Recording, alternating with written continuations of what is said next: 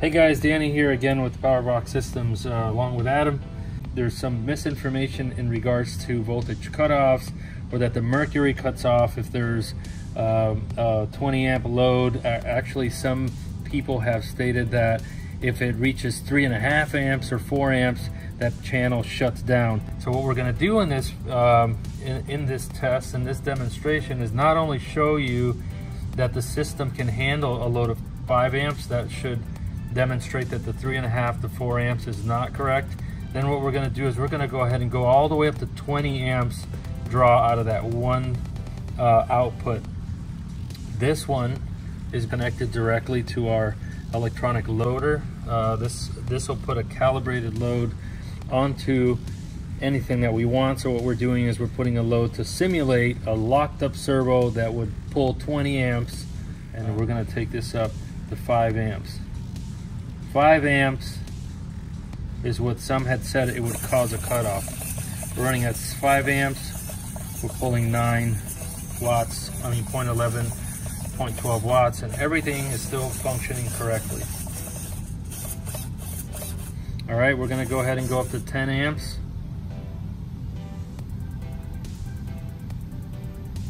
So we have a 10 amp draw. Everything continues to work correctly.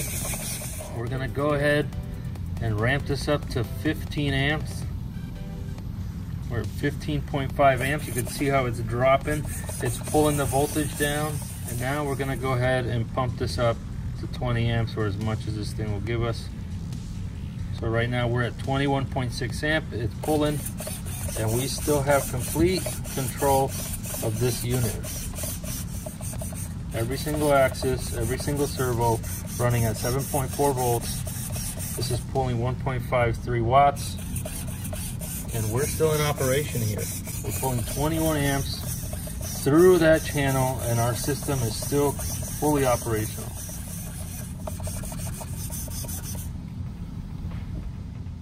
All right, guys, this is um, this is take two of what we of the shorting out. We've already done this once, um, but we wanted to actually do it again just to see because the actual port that we used, port F, was still functional.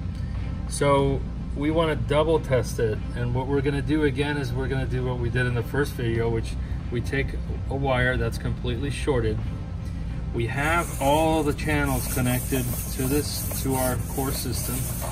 And we want to demonstrate that even if you short out a port, that the plane will continue to fly.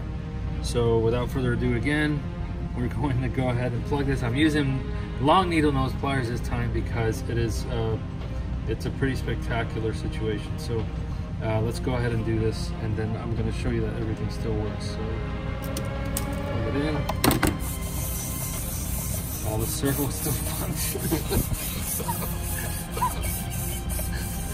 All right, we're completely, um,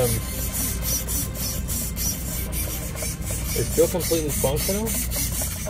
And what we have here is a completely shorted out wire.